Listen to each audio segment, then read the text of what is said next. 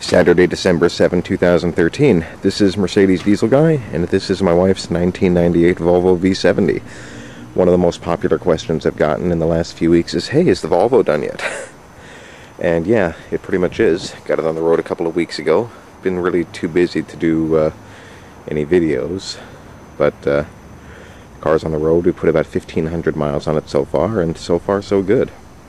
You can see I have the alloy wheels off now, and have the uh, winter rims with uh, hubcaps on.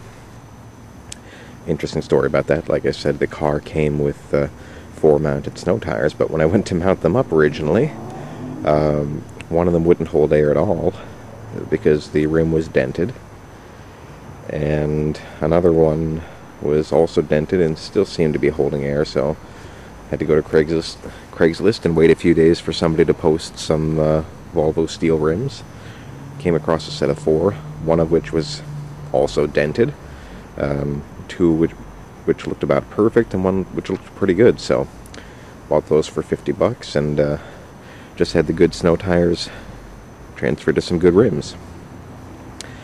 Uh, car's been pretty reliable so far, but as with any car that I'm new to, that I buy used and have to do a lot of work on, um, car's still kind of in shakedown mode, and you know, a few new problems are popping up. As I said, when I bought the car, there were two uh, there were two codes, and I scanned it, and uh, they were one for the catalytic converter and one for the evap system. The uh, catalytic converter code has not come back ever since I replaced the whole exhaust system, so that's nice.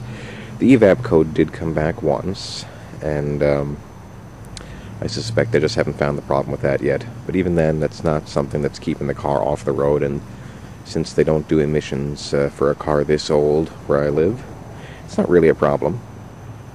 And a new code popped up for the uh, secondary air system, so I've got to look into that as well.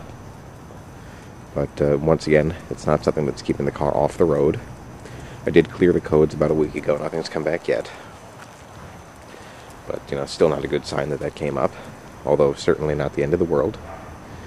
Uh, what else worth mentioning? The other issue that's popped up is it, it appears that I need to replace the accelerator cable. While my wife was driving the car and the accelerator got stuck. And uh, she panicked a little bit, but uh, was able to get it free and uh, is just driving more carefully now. She said it happened when she uh, had the accelerator all the way to the floor for um, for whatever reason, so she's trying not to do that. But uh, I looked at the outside of the cable, and it, it does look uh, pretty aged. For whatever reason, some of the plastic insulation has come off the uh, cable housing. My guess is that rusted the metal inside, and the uh, cable is actually catching on the housing. So I'm going to have to replace that.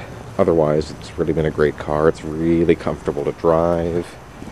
Um, fuel economy is not as good as the Subaru, but not too bad. But uh, overall, we're very happy with it, and eventually, when it comes time to replace my Subaru, I'm probably going to get myself one of these. Because uh, these are fantastic.